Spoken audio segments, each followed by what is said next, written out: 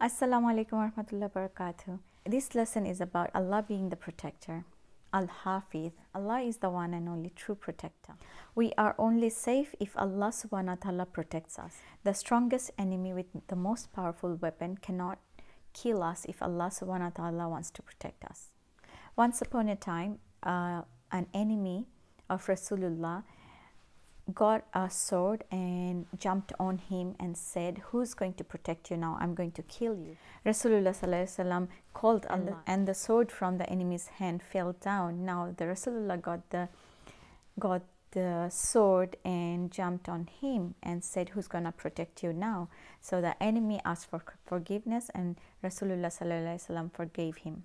So no nobody can harm us if Allah subhanahu wa ta'ala helps us. The strongest enemy with the most powerful weapon cannot harm us if Allah subhanahu wa ta'ala protects us. Allah subhanahu wa ta'ala is the true protector. Allah subhanahu wa ta'ala protects the bird in the nest and the kitten in the basket.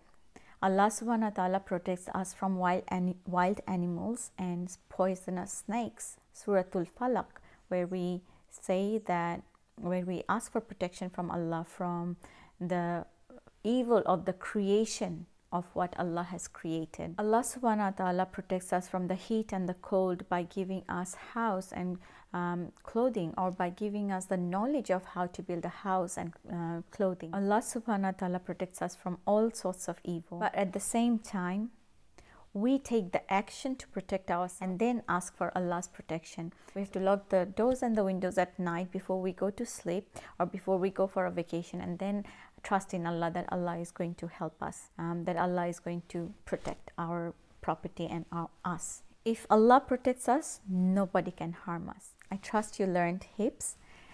Share your story, how Allah protected you, how you felt close to Allah when Allah protected you. I'll see you in the next video. Assalamu alaikum warahmatullahi wabarakatuh.